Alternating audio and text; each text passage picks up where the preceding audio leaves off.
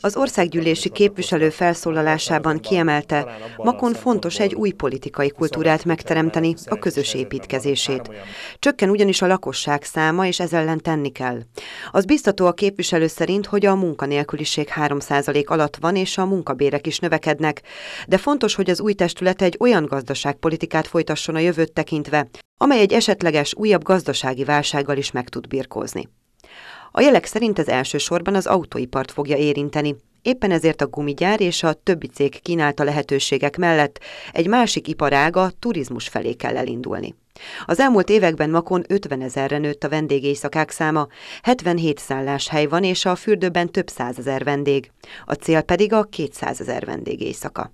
A képviselőtestület előtt álló operatív feladatok közül a legfontosabb tulajdonképpen három nagy beruházásnak a levezénylése, ez a fürdőépítése, amelynek a közbeszerzési eljárása most van folyamatban, a hozzá kapcsolódó szálloda megépítése, amelyel kapcsolatban előrehaladott tárgyalások zajlanak. A kormány kész jelentős támogatást biztosítani, tehát 50 és 100 százalék közötti támogatást biztosítani egy nagy, több mint 100 szobás, tehát legalább 120 szobás szálloda megépítéséhez közvetlenül a fürdőhöz csatlakozva. Az a kérdés, hogy ennek a megépítés és üzemeltetése hogyan zajlik majd. Ez egy óriási intellektuális és gazdaságstratégiai feladat is, tekintettel arra, hogy ez nagyon komoly bevételt fog jelenteni a városnak.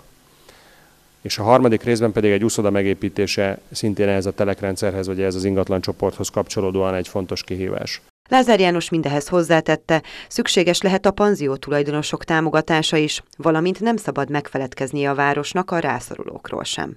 Szerintem Makó városának a szárnyalása mellett, tehát hogy szárnyal, úszodát épít, turizmust fejleszt, azoknak az embereknek a sorsát, gondját is viselnie kell, akik nehéz szociális körülmények között vannak. Ezen föltételek együttes állása, tehát a népességfogyás megállítása és a folyamat megfordítása, a gazdaság fókuszú, gazdaságközpontú lehetőségteremtés a város életében, és a szociálisan rászoruló nyugdíjasok és alacsony keresetűek kiemelt támogatása, különösképpen a hátrányos és halmozottan hátrányos helyzetű gyerekek sorsának a fölvállalása úgy gondolom sikeres lehet a következő időszakban, illetve sikeresé teheti a képviselőtestületet.